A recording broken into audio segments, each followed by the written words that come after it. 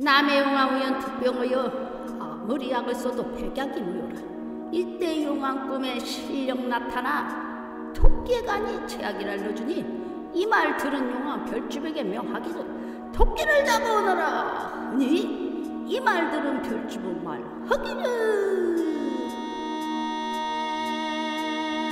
난감하네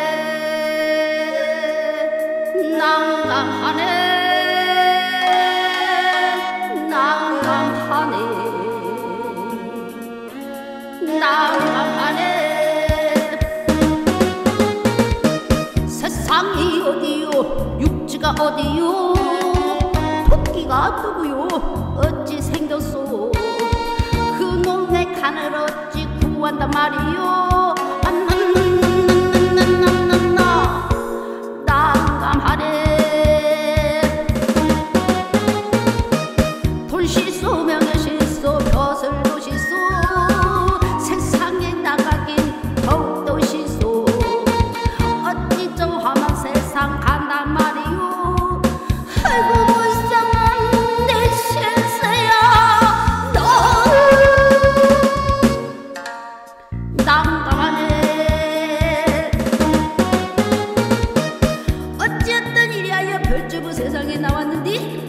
정신없이 토끼를 찾아다닐 적에 어느 날저 멀리 코는 놈도 키는 좁고 이건 빵끝 아따 저놈이 토끼렸다. 이에 별주부 수작 한번 걸어. 아인가 두 선생 정말 반갑소